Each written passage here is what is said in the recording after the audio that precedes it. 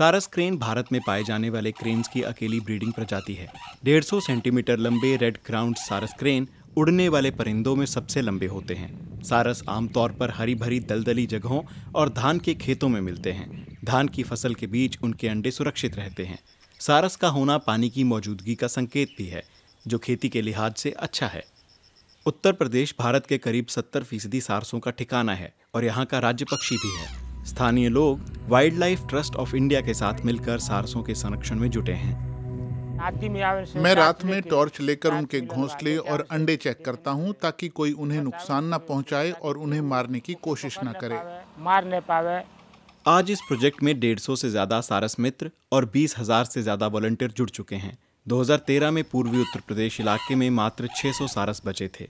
स्थानीय लोगों की कोशिशों से सारसों की आबादी आज चार गुना बढ़ चुकी है।